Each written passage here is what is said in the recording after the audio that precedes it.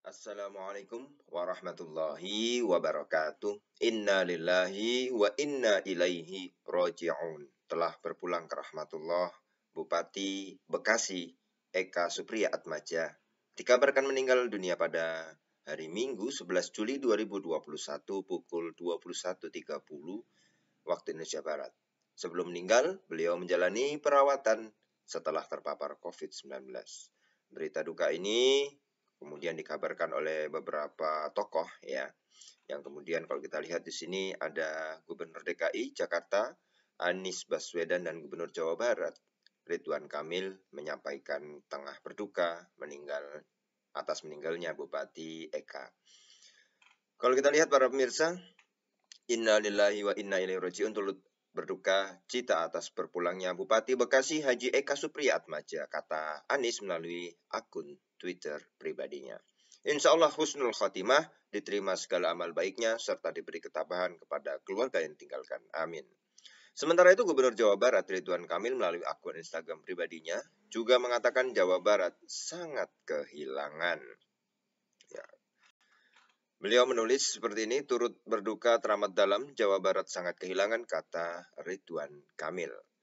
Telah berpulang rahmatullah Bupati Bekasi Haji Eka Supriyatmaja di Rumah Sakit Siloam, Tangerang pukul 21.35 Ahad 11 Juli 2021, kata Ridwan Kamil. Ridwan Kamil berdoa almarhum diterima seluruh amal ibadahnya serta diampuni segala dosanya. Semoga almarhum diterima segala amal ibadahnya dan diampuni segala dosanya. Amin ya robbal alamin ya. Sebelumnya juga kabar duka tersebut juga diumumkan oleh Wakil Wali Kota Bekasi Tri Adianto melalui akun Twitter pribadinya. Inna lillahi wa inna ilaihi roji'un. Telah berpulang sahabat saya, Bupati Kabupaten Bekasi Eka Supriya Atmaja malam ini pukul 21.30. Semoga almarhum diterima di sisinya, mohon doanya ya para warga, katanya. Sebagai informasi, beliau almarhum Eka Supriya Atmaja meninggal dunia di Rumah Sakit Siloam, Kelapa 2 Tangerang setelah 10 hari menjalani perawatan.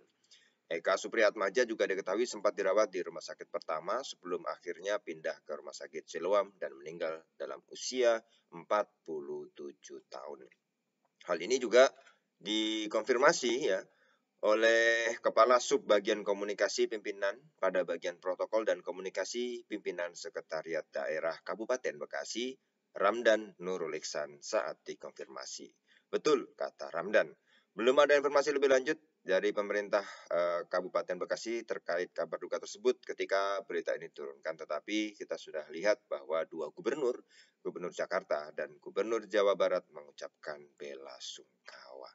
Sebelumnya para pemirsa ya di channel ini sudah kita informasikan, sudah kita beritahukan ya uh, bahwa beliau terpapar COVID-19 dan masuk ICU.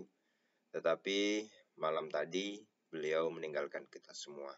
Semoga keluarga yang tinggalkan diberi ketabahan dan kesabaran yang luar biasa. Para pemirsa, mari kita jaga protokol kesehatan, mari kita berdoa dengan setulus hati, ya dengan sebaik-baiknya agar pandemi COVID ini cepat hilang, cepat reda dari Indonesia. Amin. Ya Rabbal Alamin. Terima kasih para pemirsa. Kita akan ketemu lagi di video selanjutnya. Wassalamualaikum warahmatullahi wabarakatuh.